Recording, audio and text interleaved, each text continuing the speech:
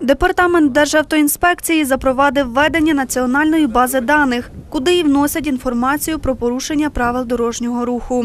Це, кажуть у ДАІ, унеможливить безпідставне направлення матеріалів до Державної виконавчої служби. Бо часто водії штраф сплачують вчасно, але відповідну квитанцію в ДАІ не представляють. Сплатити штраф за порушення правил дорожнього руху можна в будь-якому банку України.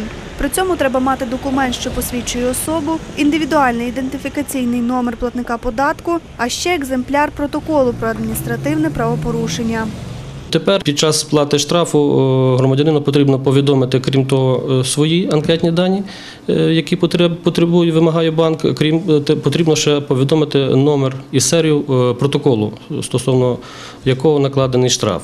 Після того, як громадянин повідомить таку інформацію, згідно нововведеної бази даних, ця інформація буде відображатися в системі адмінконтролю і е, автоматично відпаде е, потреба направляти для примусового виконання матеріал до е, Державної виконавчої служби.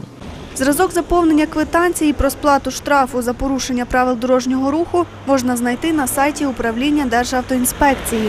Тим часом працівники ДАІ нагадують водіям, що штраф потрібно сплатити не пізніше, як через 15 днів після вручення постанови про накладення штрафу. А в разі оскарження або внесення на неї подання прокурора не пізніше, як через 15 днів з дня повідомлення про залишення скарги або подання без задоволення. Якщо ж водій не сплатить штрафу впродовж 15 днів, сума штрафу збільшується вдвічі. Якщо е, штраф не був сплачений 15-денний строк, е, матеріали направляються для примусового виконання. І тоді е, повноваженнями Державної виконавчої служби стягується подвійний розмір штрафу.